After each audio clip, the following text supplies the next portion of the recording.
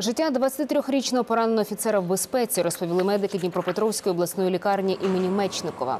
Старший лейтенанта в вкрай тяжкому стані вчора гвинтокрилом доправили з зони АТО. Бійця поранило біля Мар'їнки. Великий уламок снаряду розтрощив шийні хребці, кажуть лікарі. Операція тривала майже 4 години. Уламок видалили.